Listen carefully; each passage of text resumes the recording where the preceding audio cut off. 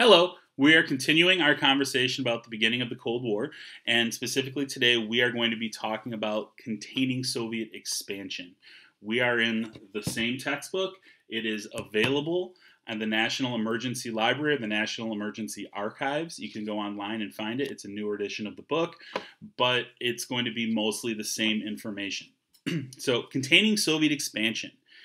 In the July 1947 issue of the magazine Foreign Affairs, a writer who called himself X published an article titled The Sources of Soviet Conduct. The author was really George F. Kennan, an American diplomat and a leading authority on the Soviet Union. His article presented a blueprint for the American policy that became known as containment because its goal was to keep communism contained within its existing borders. Kennan argues for containment Kennan contended that while Stalin was determined to expand the Soviet Empire, he would not risk the security of the Soviet Union for expansion. In Kennan's view, the Soviet Union would only expand when it could do so without serious risks. Stalin would certainly not chance war with the United States, a war that might destroy his power in the Soviet Union, just to spread communism.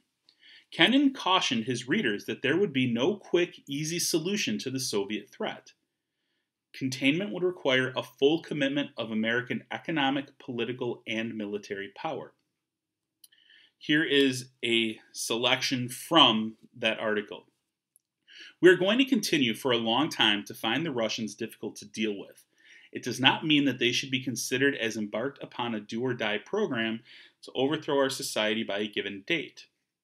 In these circumstances, it is clear that the main element of any United States policy toward the Soviet Union must be that of long term, patient but firm, and vigilant containment of Russian expansive tendencies. George Kennan, The Sources of Soviet Conduct. The Marshall Plan aids Europe's economies. The containment policy's first great success was in Western Europe. After World War II, people were con- confronted with severe shortages of food, fuel, and medical supplies, as well as brutally cold winters. In this environment of desperate need, Secretary of State George C. Marshall unveiled a recovery plan for Europe. In a speech at Harvard University, he warned that without economic health, there can be no political stability and no assured peace. In early 1948, Congress approved the Marshall Plan, over the next four years, the United States gave about $13 billion in grants and loans to nations in Western Europe. The program provided food to reduce famine, fuel to heat houses and factories, and money to jumpstart economic growth.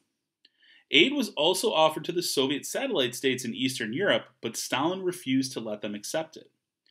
The Marshall Plan provided a vivid example of how U.S. aid could serve the ends of both economic and foreign policy. The aid helped countries that desperately needed assistance. The prosperity it stimulated then helped the American economy by increasing trade. Finally, the good relationships that that aid created would work against the expansion of communism. The Cold War heats up. The front lines of the Cold War were located in Germany. The zones that were controlled by France, Britain, and the United States were combined to form West Germany. West Germany was bordered on the east by the Soviet controlled East Germany. The Allies also controlled the western part of Berlin, a city that was tucked deep inside communist East Germany. Berlin airlift saves West Berlin. West Berlin was, as one Soviet leader later described it, a bone in our throat of the Soviet Union. Its relative prosperity and freedom stood in contrast to the bleak life of East Berliners. Stalin was determined to capture West Berlin or, other or win other concessions from the Western Allies. In June of 1948, he stopped all highway, railway, and waterway traffic from West Germany into West Berlin. Without any means of receiving aid, West Berlin would soon fall to the Communists. Stalin was able to close roads, stop barges, and block railways, but he could not blockade the sky. For almost a year, the United States and Britain supplied West Berlin through a massive airlift. Food, fuel, medical supplies, clothing, toys, everything the residents of West Berlin needed was flown into the city. Even through rain and snow, goods arrived regularly. The Berlin airlift demonstrated to West Berlin the Soviet Union and the rest of the world how far the United States would go to protect non communist parts of Europe and contain communism. Cold War rivals form alliances. In May of 1949, Stalin was forced to acknowledge that his attempt to blockade Berlin had failed. The Berlin airlift was a proud moment for Americans and Berliners and a major success for the policy of containment. One Berlin resident later recalled her feelings when the blockade was finally lifted. So this is a primary source. This is, you know, comments from somebody who lived through it. Sheer joy, nothing else. Nothing else. Joy and the feeling that we have done it and it works. That was so important. The West has won. I say this quite deliberately in such a crass way because you wanted to know how I felt emotionally. The West, well, we have succeeded, and the West has won and the others have not. This is Ella Borowski during a CNN interview in 1996. The Berlin airlift demonstrated that Stalin could not be contained if Western nations were prepared to take forceful action.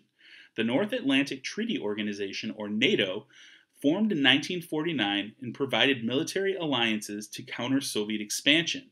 Twelve Western European and Northern American and North American nations agreed to act together in the defense of Western Europe. Member nations agreed that an armed attack against one or more of them shall be considered an attack against all of them.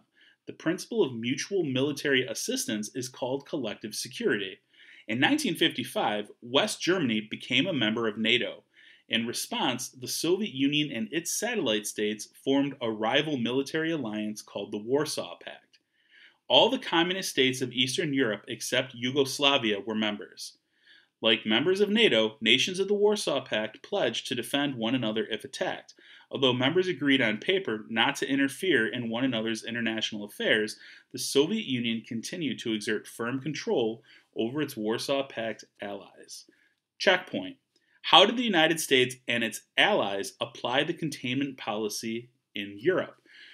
So, the way that they applied containment in Europe is during the Berlin airlift when they stopped Berlin from, you know, the parts of Berlin that they controlled from falling to communism by airlifting the goods in so that Stalin's blockade couldn't work. And then they formed those collective security agreements, you know, things like NATO, where it said if we are attacked by a communist force, we will all respond in kind. If one country is attacked, we'll all respond. All right, so that wraps it up for the beginning of the Cold War. And next time, we will be moving on to some of the conflicts. So take care and be safe.